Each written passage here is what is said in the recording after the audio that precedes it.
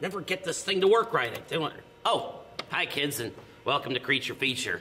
Now, we're having fun in the, the lab today, and you're going to have fun too with tonight's movie, whatever it is. Uh, uh, uh. So, anyway, it looks like uh, these guys here keeping themselves occupied with uh, uh, some sort of project while I'm trying to work on this piece of junk. You know, I hate work. It's just one of those pesky diversions in life that get in the way of having fun, like these guys have been having for quite some time. So, uh, uh tell me, Larry and uh, Nurse Cassie, what have you two been working on over here? We're working on a kitten puzzle. Did you know that puzzles are good skill builders for the brain? No. Oh, really? Um, and just how long have you guys uh, been working on this uh, little project here? Uh, it's a big one. I'd probably say uh, six months or so. I mean, Hmm. it's a hundred pieces, Doc. That's a lot. Uh, yeah. Uh, tell you what, uh, skill builder, huh? Well, when you guys are done with that, I got a rocket project that you two could build for me. There! Larry, I think we're all done. Yeah. Ta-da! What do you think, Doc? It took us a long time, but I think it's pretty good myself, huh? Huh?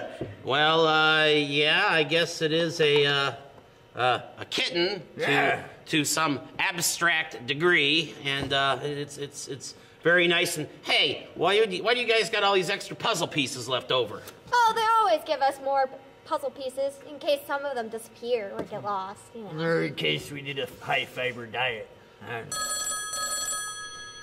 Huh? Someone's on the phone! Oh, oh, oh, oh, I'll get it. Oh, no, no, no, no, no, no. I don't think that's a very good I idea. got this, dude. Let me get it. No. Hello, this is the Wolfman, and you're speaking to me today. I'm live on Doc's phone right now, right here, where I'll be spinning all the greatest answering machine hits, such as "I'm not in, but I love you anyway." So leave your message after the beep, and I ain't got no money, so I ain't paying no bills. And this week's top hit, I can hear you breathing, so I'm hanging up, you sicko. Oh, really? All right, yeah, I'll tell him, dude. Who was on the phone? Was it a creeper? Oh no, no. Usually they do call a lot, especially for Nurse Lacey. but uh, no, no, it was the IRS, Doc. They wanted to talk to you. and the funny thing is, they said something about a tax audit because you didn't fill out your Affordable Underpants Act form correctly, and it's like a three hundred dollar fine, dude. What? $300 Affordable Underpants Act? What the heck is that? Oh, sure. It's the presidential act where if you don't wear federally approved underpants, you'll get fined. Oh, yeah, I know about that program. That's the ones that help the poorest of the poor Americans, Uh-huh. such as myself, with no personal hygiene Yeah. and bad fashion sense. I Indeed. mean, let's face it. But so we can get nice, clean, affordable underpants for us and our families. I get them in the mail once a week through this program. All right, l- l- so, so let me get this straight. If I'm not wearing federally approved underpants, then I gotta pay a fine? Yeah. Duh. All right, well, listen, you two knuckleheads. If anybody comes banging on the door, do not answer the door. Do you understand? Got it! I'll bet it's those annoying underpants revenuers at the door right now. But you know what? There's nobody home. I'm sorry, but there's nobody home. You can go away now. Hello? Is there anybody there? Hello? There's nobody here right now, so leave a name and number and a message after the tone. Beep. Oh, that's such a shame. Here I was going door to door, giving out free gourmet dog biscuits and uh, glittery goth nail polish samples. Gourmet dog biscuit? No, no, no, no, no, no, No, no, yeah. no, Glittery goth nail no, polish? no, no, no, no, no, no, That's no, good, no, no, wait, it's a trap. Nobody home, huh? Ah. Let's see here. Yeah, you cannot fool the government, mister, especially when you owe us money. Ah, ah. We're with the IUS, Uh-huh. the Internal Underpants Service. Good grief. I'm Agent Weisenheimer. And I'm Inspector 12. So, Inspector 12, what's your assessment of this situation? Let me see. Hey, hey, hey. Bend over. Ah! Hey, get, get out of there. They're rather soiled. Note that. Ah. and there appears to be a lot of hair back here. Uh, And the waistband itself does not appear to meet the federally regulated underpants guideline. Oh, oh, oh. I'm gonna need the sphinctrometer 2000. What? You will. Huh? What is This This won't hurt a bit. For us. Ah, wait a minute. Hey, hey, that thing is cold. Get, get it out of there. Ah, ah, ah. It appears that he is in federal violation according to Regulation 2.3, subparagraph 7, subsection 2A.3. Told you. He failed the sphinctrometer 2000 test. Write that down. While I'm writing this down, well, it looks like you owe your government $300. And this will go to support the less fortunate Americans who can't always afford quality underwear. Ah, jumping Jehoshaphat's. Well, tell you what, kids. Why don't we get into tonight's movie? And when we get back, I'm gonna try to work myself out of this little wedge I've gotten myself into. Inspector 12, are you absolutely certain his underwear is in violation? I will gladly do my duty and check again. Hold still. Ah, ah, ah. Hey, ah, ah, ah, ah. Igor! Ah, roll the movie! Ah, ah, ah.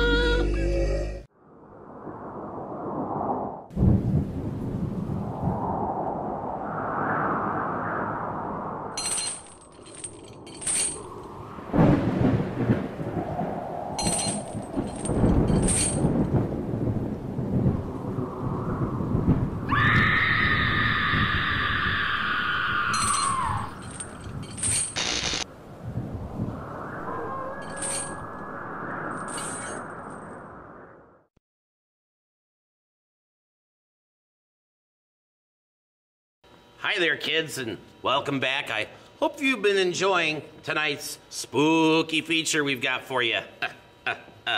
well, we're here in the lab, and I'm trying to work my way out of this little dilemma I got with the uh, the government here and their uh, Affordable Underpants Act, and uh, they've got all sorts of charts and graphs here. So uh, let's figure out uh, what's going on here.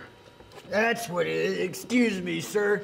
I- I'm on the federally underpants program, and I didn't get my underpants this week in the mail, so. Uh oh. Yeah. I apologize, sir. Oh, okay. Here. Uh, let me rectify the situation. Ah, Here you go. We got a winner. They're warm. yeah, they are. Thank you, sir. Minty. Thanks, dude. Uh, I, I got a question. It's like, uh, don't you two have anything better to do than to harass the lower middle working class and uh, uh, bombard us with all these ridiculous rules and regulations to fine us to death? Because you see, I'm quite happy with my underpants. I bought them back in the 1950s when underpants were made by Americans in America with unions and everything. You know, quality underpants. Aha! So you're wearing underpants that are sympathetic to the communist cause, eh, Conrad? Nope.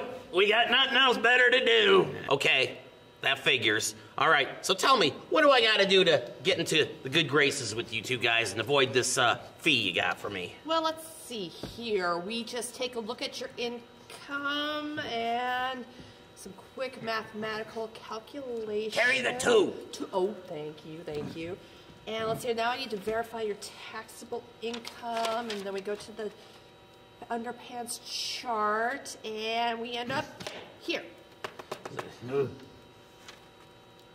What does this all mean? Well, based on your income, you have two styles of underpants to choose from. Two and there are two styles. styles of government approved underpants as well. Oh, goody. Yep. Here's choice number one. Hey, wait a minute. These are cartoon boxer shorts, and I I can't wear these because it's a it's a matter of plate tectonics and stuff with all the shifting around the fault line and stuff. I I, I gotta wear tidy whities. I, I can't wear these underpants. Doc, maybe you could relive your childhood and pretend those are superhero underoos. And you could eat sugary breakfast cereal while you watch your cartoons on Ah. Saturday morning. Yeah, you're, you're really funny. Go play with your phone. Okay. Uh, this, this is ridiculous. Uh, uh, what do I have to do, all right, to get into your good graces in order for me to wear the tidy whities that my body requires? Well, here's option number two the iPhone from Apple. The Apple iThong. Is that It- smartware? It, it does look technologically advanced, but I ain't wearing these because because uh, uh, uh, I need to wear tidy whities. I'm sorry, but underpants are graded on your income. Income. See, see, see. Now look here. You are approximately here on the income chart. Uh-huh. Here, and gentlemen of your earning bracket and your demographical location, well, they either wear boxers and drink hard liquor, or they wear thongs with the optional T-shirt and beat their wives. Doc, do you beat your wife in a cartoon underwear? What even? No, wait a minute, Nurse Cassie. I'm not even married. Listen, I, I've had enough. What do I got to do to wear my tidy whities? Let's see here. Um, these types of underwear should only be worn by men with bachelor's degree or higher and upper middle class professionals like him. Do you have a bachelor's degree? Well, I I am a bachelor, and you guys are pretty good at giving me the third degree. Hey, hey, here, check these out. Ugh. Ah, see this? I earned these underpants. I went to community college. Lay off the asparagus, dude. I went to community college too. I had this really weird pottery teacher. He made us make all of these really weird tall vases. He gave us all good A's, but he sold them all at a Grateful Dead concert. I guess all those hippies really needed a vase to put their flowers in. Well, that's nice, dear. Uh, tell you what, I, I got a question for you here. Uh, what would happen if I uh, decided, oh, to not wear any underpants whatsoever? What? What? Oh, what? What? What? What? What? What did you say? No underpants. I- Going commando. Like Arnold Schwarzenegger? Exactly. You, you can't do that. I, I guess I don't think so. Yeah, I did too. There's nothing in here about no underpants. Uh, uh, uh. Hey there, Inspector 12. Why don't you uh, re-inspect my underpants? All right, you asked for it. Oh no! Hey, lady, he's not wearing any underpants, and I, I saw his. Are you shitting me? Oh. I'll check again. Oh no, there's nothing there but a lot of hair. Oh, I don't believe this! Oh. Oh, great. Here it comes. Uh, here comes what? Everyone knows that Doc has tattoos on both butt cheeks. Although I could probably care less, but in the interest of moving the show along here, I'm just gonna go ahead and ask you a question. Why, for the love of God, why do you have a tattoo on both cheeks? Well, I am glad you asked that question, my boy. And you know, it's a long, long, arduous, and painful story, which is best left for another time, like the next cut in. So, when we come back, kids, you're gonna watch how I'm gonna slide out of this underpants predicament. Ah, something just slid out of my underpants. Oh, let's go get you changed. Uh, um, Igor, roll that movie. Uh, Hi,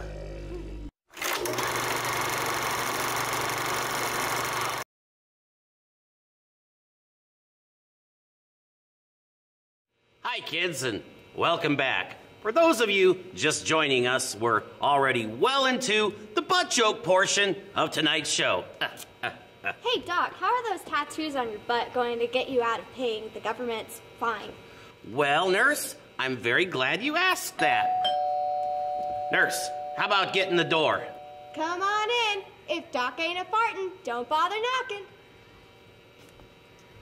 Excuse me, but my name is Lotta Lodebottom, the very famous art appraiser. I am from the very pr- pretentious city Art Museum. I heard that you have a very rare Michelangelo find that you would like to have professionally appraised? Well, you are absolutely correct. You see, I have a very classic 1508 rarity from the Grandmaster Michelangelo himself that we need to get appraised here. Oh my, never in my life in the world of art did I ever dream that I would find a beautiful work of art from one of the old masters. So, where is this piece? The art is in his pants. Mind your manners, young man.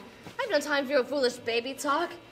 Oh my god, I've been blinded! blinded by such heavenly light! Never in my life in the world of art did I ever dream I would find such a beautiful work of art. Could you explain where you got this piece? I'd be glad to.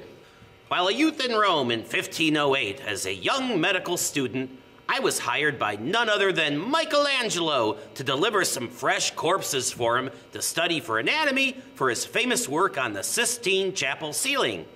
Well, one night when we were both drinking heavily, Michelangelo ran out of parchment paper and, using ink and a needle, tattooed two sketches of panels that would later not be used in his famous work.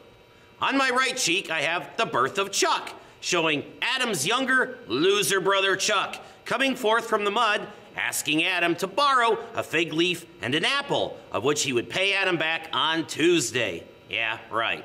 And on my left cheek, I have the lesser known expulsion of St. Alfonso from the pancake breakfast. I could tell you a funny story about that, but it's one of those stories that you, you kind of had to be there. This is so rare and wonderfully executed. So smooth and, and firm. Excellently preserved. I have seen a lot of art in my day, but by far this is the most exciting piece of art in this century. So, how much is Doc's butt worth? Well, uh, it is on living flesh, so, uh, I would have to value this piece of art at $100,000 million and 63 cents. Furthermore, I am submitting paperwork to have this work of art declared a National Historical Heritage Society site. So, uh, a question I have for you. Do you believe that such a piece of, of work should be, oh, I don't know, stored in something like this? Heavens no! A work of art in this caliber needs to be stored in, uh, in, uh, 100% white cotton, like these. Uh, now we're talking here. Look at that. Hey, hey, uh, Miss Underpants lady, what do you think about them apples here? You may have starched our shorts this time, but we'll get you. Oh, yes, we will get you. Inspector 12? Come on. Hey, lady. Ah, what's this worth? It's a chocolate shih tzu. Oh my heavens! Um, Well, there you have it, kids. Uh, you know, my my my butt with its work by the old master has saved the day, and I wish I could say it saved the day once again, but this is actually the first time. hey Doc, I was wondering, why didn't they use those two panels that were on your butt in the Sistine Chapel? well, I'm glad you asked that. You see, Michelangelo took me over to the Vatican so he could show my artwork here to uh, Pope Julius II to get approval, and uh, I I kind of made a little social faux pas with the Pope when I I kind of met him there. What did you do?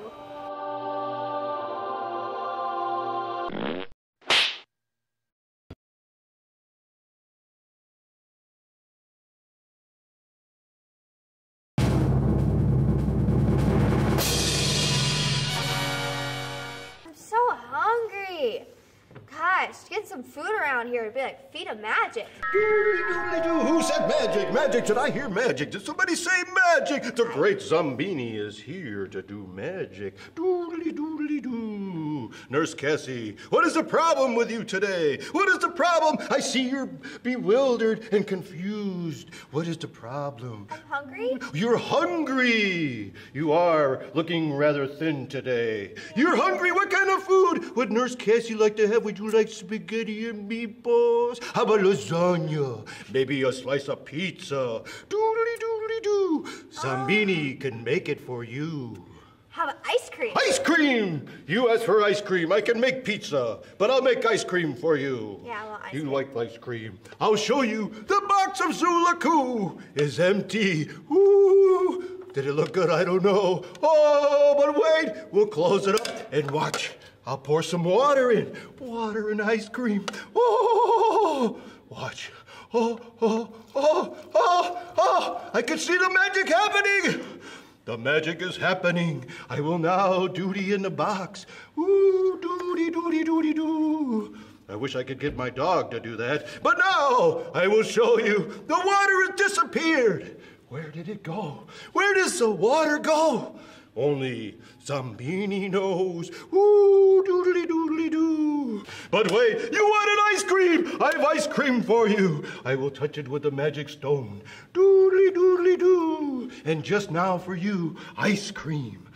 Looky, looky, look. Ice cream for you. I have ice cream. Yummy, yummy ice cream. Mmm. You like ice cream. Ooh, doodly doodly doo. I want a chocolate. Oh, I must be going. I'm going. I'm going. I'm gone. Woo! I didn't get my chocolate ice cream.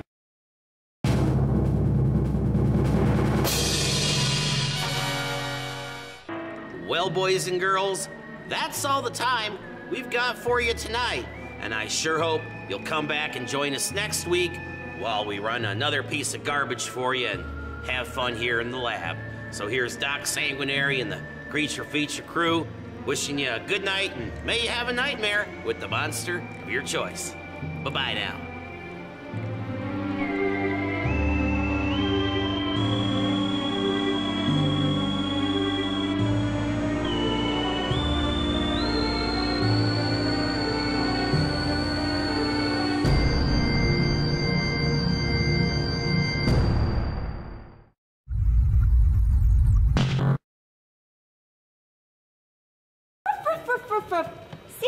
Chapel. I wonder where the other 15 are.